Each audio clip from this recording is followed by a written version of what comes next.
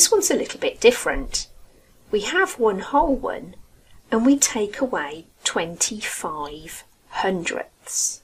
So starting with 20 hundredths, take away 10 hundredths, take away 20 hundredths.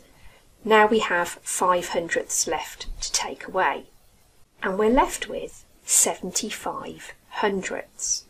We can't express that as tenths. Although we have seven whole rows of 10, we also have a row that's not complete and it has five odd hundredths in it.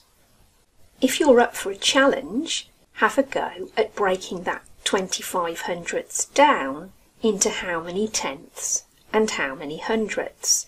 We took away 25 hundredths. In 25 hundredths, how many tenths did we have? Well, there were two whole rows of 10, so that's two tenths. And then we had some hundredths left over. So as well as taking away two tenths, we took away another five hundredths. If that made sense to you, have a go at this bit. We have 75 hundredths left.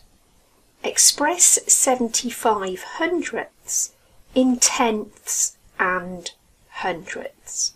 Pause the video, have a go. In 75 hundredths, how many tenths are there? How many whole rows of 10? 1, 2, 3, 4, 5, 6, 7. We have 7 tenths. And then how many hundredths? 1, 2, 3, 4, 5. So that's 7 tenths and 5 hundredths, which is the same as 75 hundredths. Have a go at doing that calculation. 1 take away 63 hundredths and if you're feeling really brave, have a go at breaking the 63 hundredths down into tenths and hundredths. Pause the video, have a go. We're going to take away 63 hundredths. That's 10, 20, 30, 40, 50, 60. We've taken away 60 hundredths. Now we need to take away 1, 2, 3. And we're left with 37 hundredths.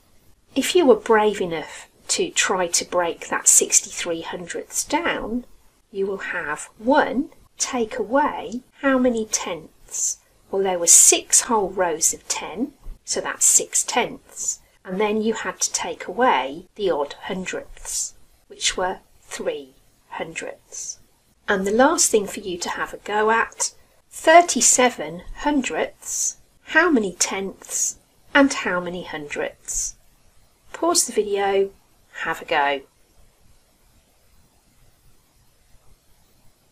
In 37 hundredths, how many tenths do we have? How many whole rows of 10? one, two, three. Three tenths, and then the odd hundredths, one, two, three, four, five, six, seven. So that's three tenths, and seven hundredths is the same as 37 hundredths.